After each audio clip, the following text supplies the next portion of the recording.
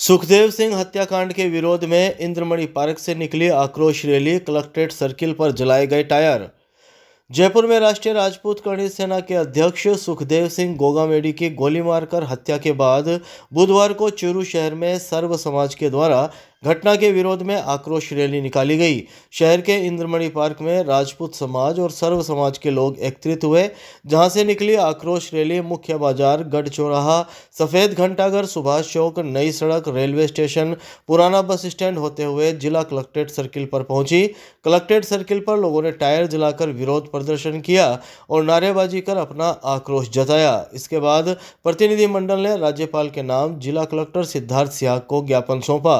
इस इस मौके पर पंचायत समिति सदस्य विक्रम कोटवाद, करणी सिंह रायपुरिया, लखेंद्र सिंह दांदू, पूर्ण सिंह चलकोई, करणी सेना जिलाध्यक्ष प्रदीप सिंह ढाडर, जिला उपाध्यक्ष प्रदीप सिंह कसुम्बी, नरेंद्र सिंह मुश्ताक खान, जंगशेर खान, शमशेर भालू खान, लखू सिंह शेखावत, एडवोकेट नरेंद्र सिंह बीनासर सहित सर्व समाज और राजपूत समाज के लोग मौजूद रहे।